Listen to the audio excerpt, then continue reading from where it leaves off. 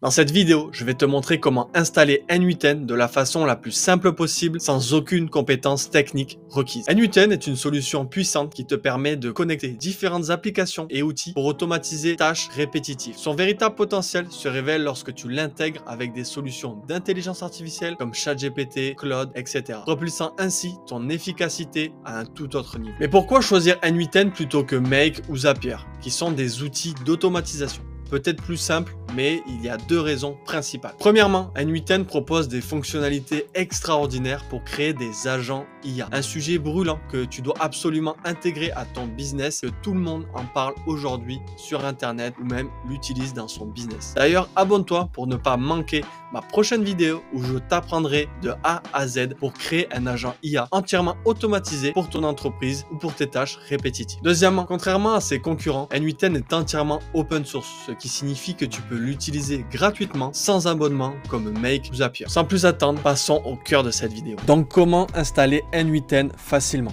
Donc il y a trois solutions concrètes pour pouvoir l'installer vu que c'est une solution open source donc on peut vraiment faire ce qu'on veut. Euh, il y a la première solution qu'on va voir de suite ensemble, c'est pouvoir l'installer en local. L'installation locale, c'est l'installer sur son ordinateur. Vous allez voir qu'il y a plusieurs problématiques et avantages sur ça. Déjà, euh, les avantages, c'est que vous gardez vos données et elles sont sécurisées parce qu'elles sont gardées sur votre ordinateur. Ensuite, il n'y a pas de coût d'abonnement, donc vous n'allez pas avoir à devoir payer des abonnements pour utiliser N8N, juste l'électricité pour faire tourner votre ordinateur. Ensuite, les désavantages, c'est que vous êtes dépendant de l'état de l'ordinateur, donc il faut qu'il soit allumé, il faut qu'il reste allumé pour que les automatisations continuent à, s'exécuter. Donc c'est peut-être désavantageux parce qu'en fait, euh, le principe de l'automatisation, c'est que vous pouvez même dormir et que les automatisations fonctionnent.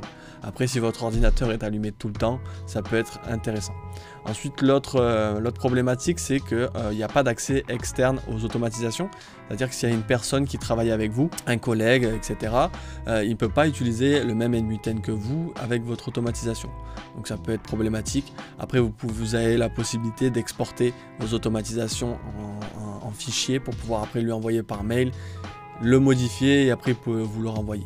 Et bon, ça peut être une problématique si vous voulez faire les choses un peu plus simplement. Donc on va voir concrètement la configuration pour pouvoir l'installer.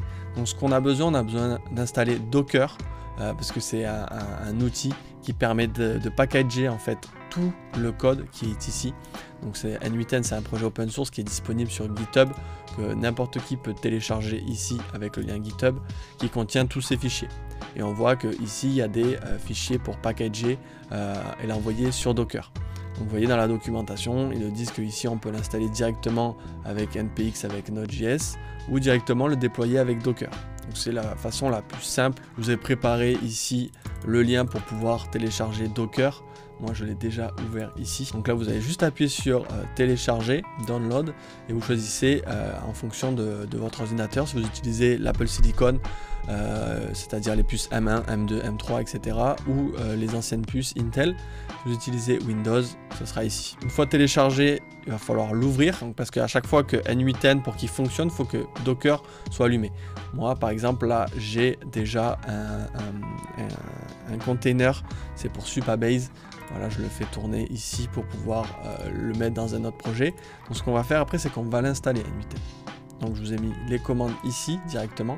Donc la première installation, il y a juste à copier le code ici, ouvrir un terminal. Donc pour ouvrir un terminal, vous, allez chercher, vous tapez terminal, sinon vous allez directement dans le Finder et vous allez dans application et vous cherchez le terminal, tout simplement.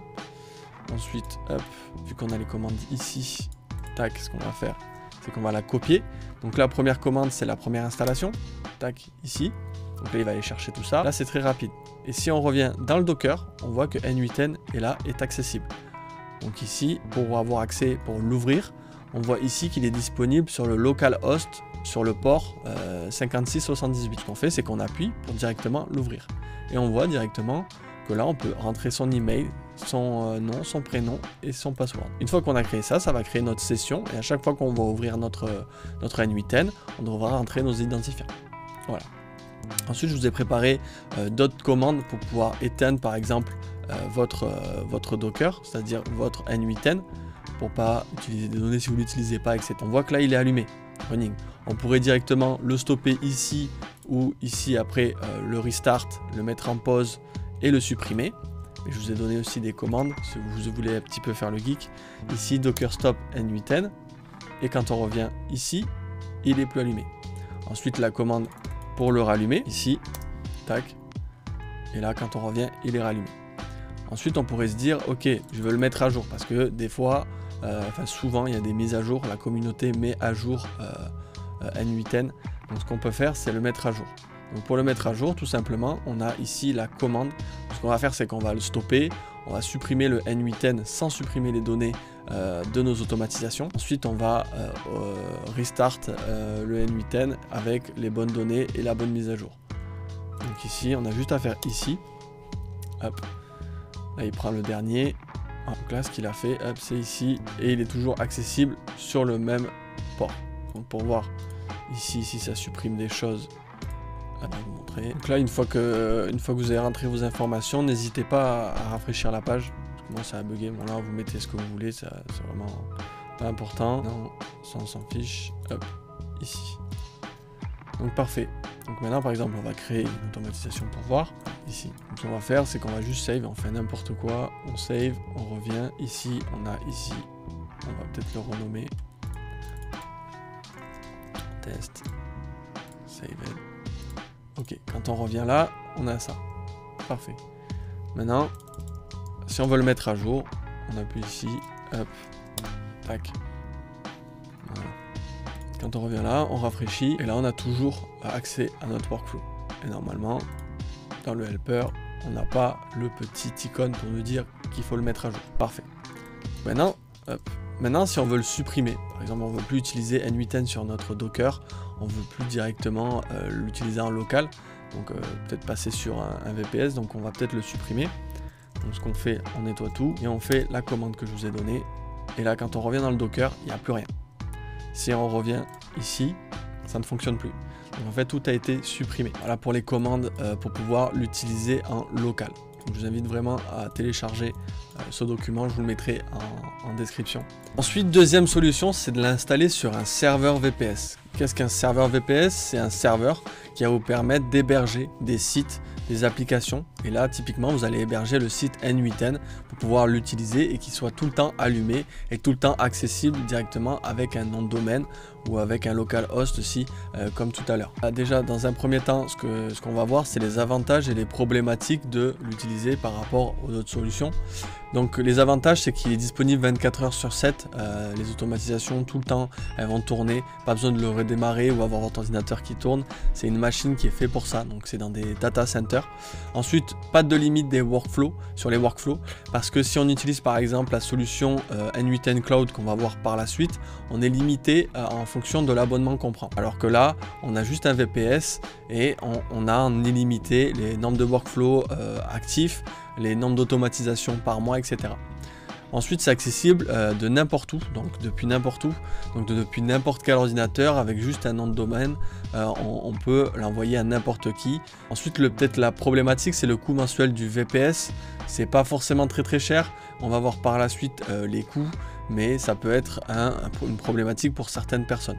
Ensuite, la configuration plus complexe. Il y a des façons, euh, là on va voir ensemble une solution pour pouvoir le faire super simplement possible, mais il y a des façons de faire qui sont un peu plus complexes, par exemple sur un serveur où on va le faire directement via le terminal.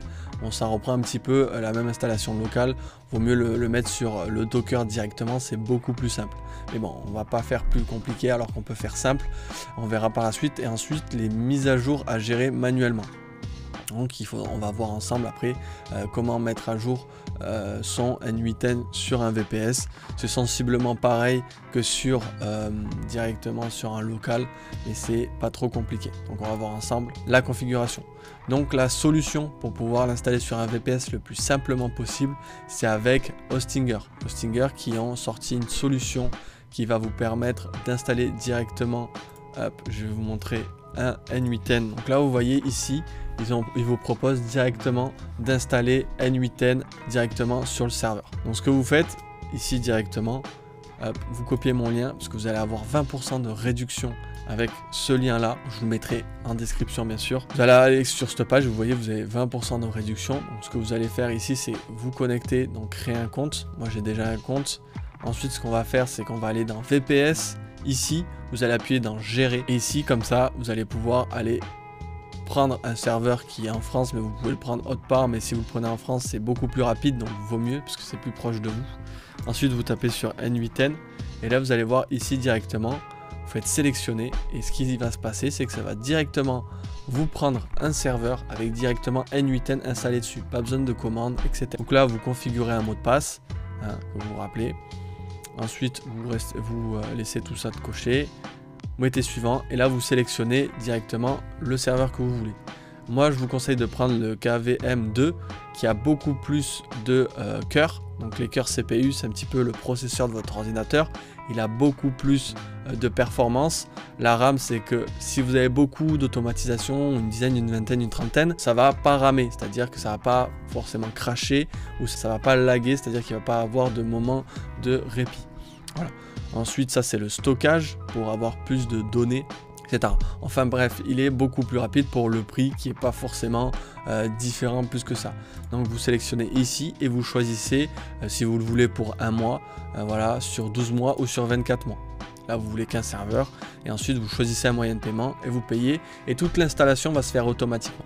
Donc ça, c'est vraiment l'installation pour le faire directement sur un serveur. Donc il faut juste installer N8N automatiquement. Donc là vraiment c'est la solution la plus simple et la plus basique pour vous je pense pour 6 euh, euros, 7 euh, euros par mois. Parce qu'après, il y a la troisième solution.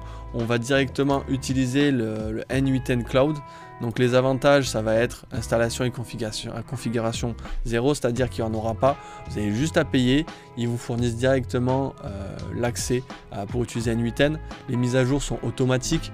Ensuite, les sauvegardes sont sécurisées par eux directement. Donc c'est un gage, ils s'engagent directement à sécuriser vos données. La problématique, ça va être les coûts d'abonnement mensuels qui vont être plus élevés que la plupart des solutions. Ensuite, vous allez être limité et il n'y a pas de fonctionnalités comme les MCP euh, pour pouvoir utiliser quelques fonctionnalités en automatisation.